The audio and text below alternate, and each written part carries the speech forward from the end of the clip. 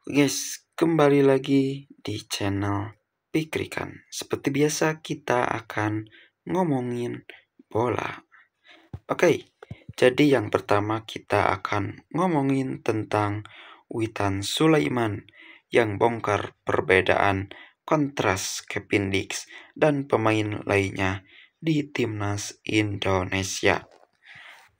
Jadi kedatangan Kevin Dix membuat uh, gelandang timnas Indonesia yaitu Witan Sulaiman membongkar perbedaan antara Kependix dan pemain lainnya. Nah, gelandang timnas Indonesia yaitu Witan Sulaiman sangat menyambut kehadiran Kependix ke skuad Garuda. Pemain Persija Jakarta itu pun mengungkapkan perbedaan kontras back FC Copenhagen itu dengan para penggawa merah putih lainnya. Witan Sulaiman kepada awak media di Jakarta pada Selasa 12 November 2024 kemarin menyambut Kevin Dix ke sekuat timnas Indonesia dengan tangan terbuka.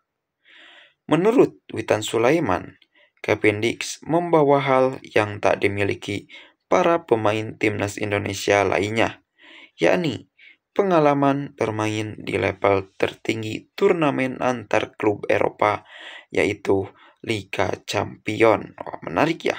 Ini pengalaman yang luar biasa dari Dix untuk bisa uh, disalurkan kepada pemain-pemain timnas Indonesia terutama yang bermain di liga lokal Liga 1. Kedatangan Dix tentunya sangat membantu tim, ujar Witan Sulaiman. Kita tahu kualitas dia. Dia bermain di UCL atau WIPA Champion Logu atau Liga Champion. Jadi sangat membantu ketika tim kami melawan Jepang dan Arab Saudi tambahnya. Karena kita tahu para pemain timnas Jepang khususnya itu bermain di liga-liga domestik tertinggi di Eropa yang mana kaya akan pengalaman untuk melawan pemain-pemain lokal timnas Indonesia. Maka kedatangan Kevin Dix itu membuat uh, apa ilmu baru, pengalaman baru yang harus diberikan dan diberitahukan kepada pemain-pemain timnas Indonesia khususnya pemain lokal. Oke, okay, selanjutnya kita akan ngomongin tentang Tom Haye CS dihina habis-habisan jelang timnas Indonesia versus Jepang dianggap tak punya kualitas. Wah, parah ini guys ya. Nah, jadi gelandang timnas Indonesia, Tom Haye dan juga rekan-rekannya di Almere City mendapat hinaan setelah takluk dari Feyenoord dalam lanjutan Eredivisie 2024-2025 pada Senin 11 November 2024 dini hari waktu Indonesia Barat kemarin. Jadi Tom Haye ini kena hinaan tak cuma Tom Haye namun juga para pemain Almere City. Pundit TSPN Kis Kwakman menilai Almere City merupakan tim yang tidak selayaknya berada di era divisi atau kasta teratas Liga Belanda. Oh, ini meremehkan sekali.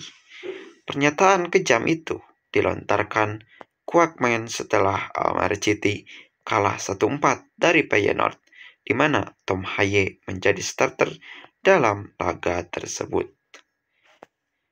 Dia menambahkan, saya sedikit merindukan itu di Almere.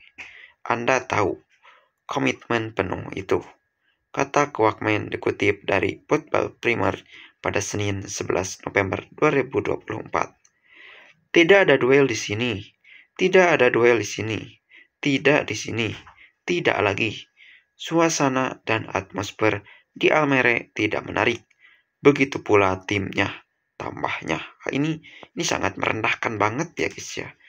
Menanggapi kritik keras itu, Maduro menegaskan masih percaya dengan skuadnya.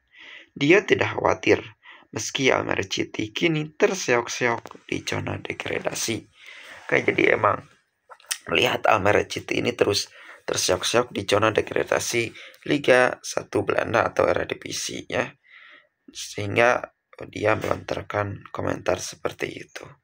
Bagaimana guys menurut kalian? Berikan pendapat kalian di kolom komentar. Dan juga like, comment, and subscribe agar tidak ketinggalan momen bola selanjutnya.